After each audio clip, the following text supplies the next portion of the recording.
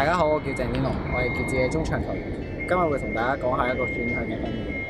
咁、首先重要性就係誒用嚟保護個波啦，遠離對手，等對手比較困難去去搶佔個波。咁作用咧就係、是、誒、呃、保護個波之餘，有時可能可以擺脫到對手。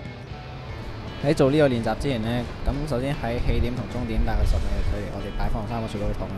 誒、呃、右邊擺兩個雪糕筒，左邊擺一個雪糕筒。咁首先我哋會向右方用腳外側盤球啦，诶、做一個八字形嘅走動啦，然之後去到左方，跟住用腳內側嘅盤球，咁如此类推，再去翻右，然後最尾抵達終點。跟住落嚟，我會示範下喺有對手嘅情況下，點樣運用呢個技巧去保持控球。